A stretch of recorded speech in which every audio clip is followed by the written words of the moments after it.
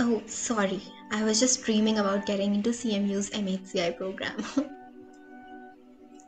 Hi, I'm Mehreen and I'm a 23 year old computer science graduate with an interest in HCI. I am a spontaneous individual and I love doing silly stuff. I love challenging myself. I love trying new things out. I think this is something about me that has really helped me grow into the person that I am today.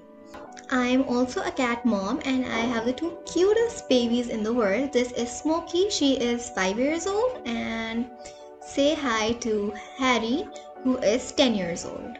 Also, fun fact, believe it or not, I can communicate with my cats.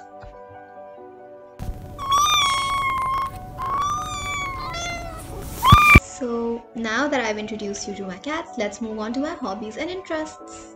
When I'm not sitting in front of my laptop, I love delving into the world of art, music, and creativity. I remember when I was in my primary school, my principal came up to me and asked me what I wanted to be when I grew up, and I told her I wanted to be a singer. As you must have already gotten a glimpse of it in the start of this video, I love singing. And Currently, just to fulfill my childhood dreams along with my professional aspirations, I am being trained in Indian classical singing under the supervision of Ustad Aizaz Sohail Khan. So, apart from singing, I love clicking nature pictures. Rule number one when life throws flowers at you, you stop and you click pictures.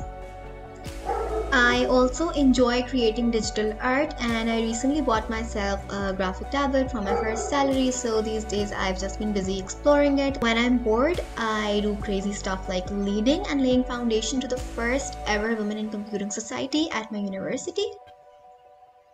So this was just a very quick glimpse of what my life looks like and I just want to thank whoever is watching this video and I want to wish you a very happy and wholesome happy new year. Bye!